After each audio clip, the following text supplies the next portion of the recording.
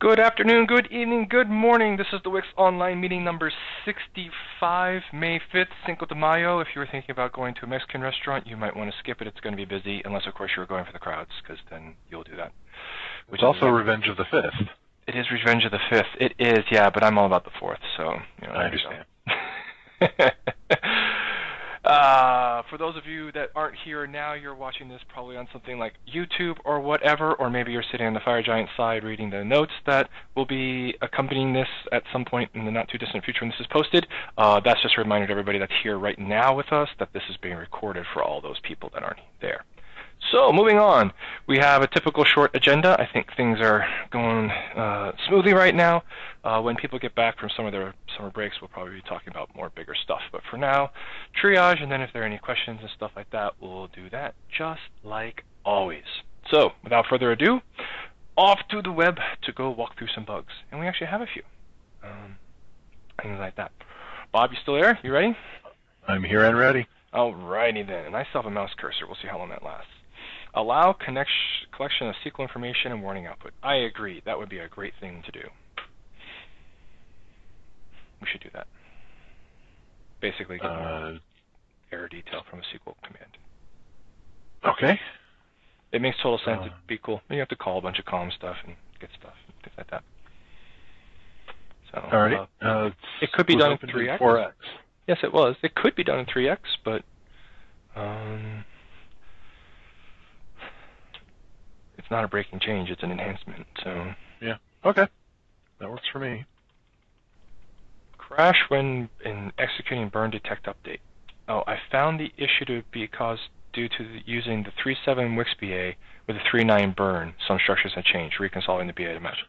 Oh. Ah. Excellent. Excellent. So it was a BA problem. Good. Yay. So that solves that. Uh, we should tuck this in our back pocket for whenever people have crashes. Be like, did you rebuild? No. Well, you probably should do that. Because we do not maintain yeah. binary compatibility. We maintain compile compatibility. Because it's just not worth it to maintain binary compatibility. Because it's a compile tool. Just rebuild your world. It'll all be fine. We should probably explicitly talk about that somewhere. You want to turn this into a doc bug? yeah, I think we should. I don't know where it goes is the problem. 310? Sorry, I don't know where in the documentation it goes. Oh, yes. Well, nobody's going to find it, but, you know, whatever. Development chapter? That's not horrible. Anyway. I'll take it in 310 and write something up. You have a couple suggestions. All right. Installation missing votive 2010 DLL on Windows 10 Techno Preview. Alright, haven't tried that. RC10 Summon on the cutting edge. Installed Wix. VS through an error activity log indicated the Votive 2010 was missing. Um, the problem is that this person is using Wix v3.9, which doesn't support Visual Studio 2015. Ah. But he confirmed that it was missing. Right, because if you have only 2015 installed, oh, you don't get Votive. We're not going to install Votive in 3.9 because 3.9 doesn't support VS but 2015. Then, but then, oh, VS threw an error. It threw an error saying that this package isn't available, or, or the thing right. that would open this package. Oh man, people need to be specific about their errors.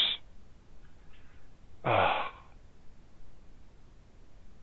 I've managed to fix this by right-clicking on Votive 2010 and checking the box that something along the lines of this DLL came from another computer has been blocked, unlocked. All right, now I'm confused. Did he go and get the zip file or something? From another computer. Oh, from another computer. Or from another, I don't know, dual booting or whatever. But and this deal okay from another computer unblock unblock. Oh, wow. Yeah. Okay. So this guy hacked up his world to get himself into this state. So the right. answer is install so, Wix 310. Yep. Cool. Excellent. Boom. That was easy. Almost too easy. Dun dun dun. uh, all right. Well, this is going to be a short meeting, and I'm fine with that because I got a bunch of stuff that I'm going to go do. Unless people's got questions right now. Um, most of the people are out. A lot of people are out. Oh, not a lot. Just the people that contribute a lot of code are out, which usually have interesting and hard questions. Um, otherwise, I'm filling space to give people a chance to ask a question, but if there are none, I'm okay with that. Cool. I think we're going to call it. This is going to be a fast meeting. Hey, we went through our bugs, got all that cleaned up, and uh, we'll be here next week. I think people start showing up next week, or is it the week after? whichever. Um, I think we'll see where we are with things next week. It's feeling pretty good. Feeling pretty good. Um, I'm going to start seeing people use Wix 310 on Visual Studio 2015 more, I think, which was that what that was about. So I guess we'll see what happens as things roll. All right, I've rambled on enough trying to fill space. Doesn't look like anything's coming in. So until next time, you guys take it easy. We'll catch you next time. Bye. Bye.